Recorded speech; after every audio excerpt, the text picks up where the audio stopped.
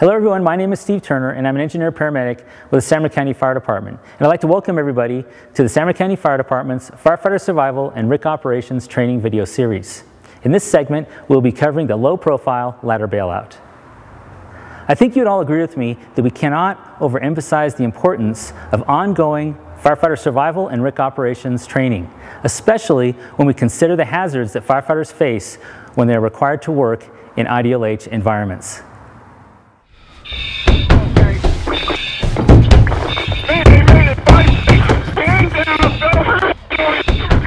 Rescue to rescue, Mayday! Mayday, what's your location?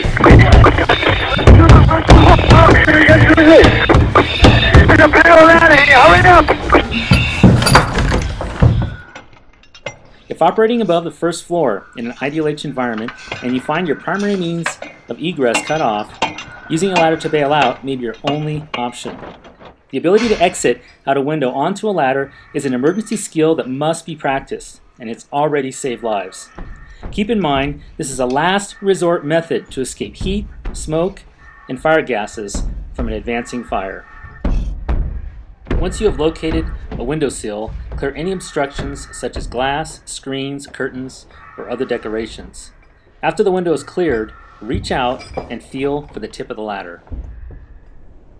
Once you've located the ladder, grasp the tip with both hands. Well, locate the second rung with your right hand. Slide your arm underneath this rung and hook it in the crease of your right elbow. Next, slide the beam with your left hand inside the beam to the fourth rung and grasp it with your hand. Just prior to pivoting out the window, slide your left hand over to the right side in line with your right arm, which is hooking the second rung.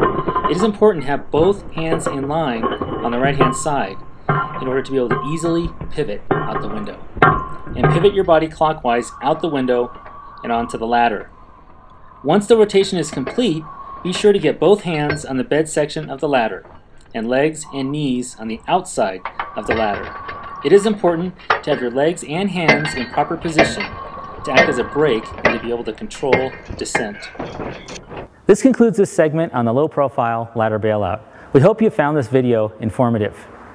And please remember, this video is not intended to be the final word on your firefighter survival or your RIC operations training. Rather, it is intended to be a complement to your fireground training operations. Thank you again for watching.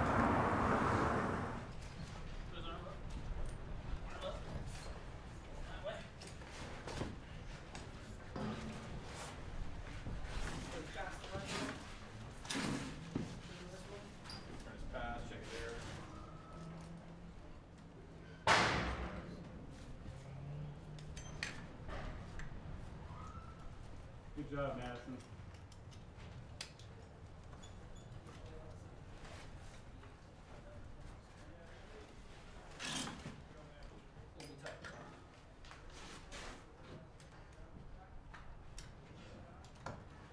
Stay in control of that buckle. That was nice. Trying to control legs just pull them. There you go. Slide them towards.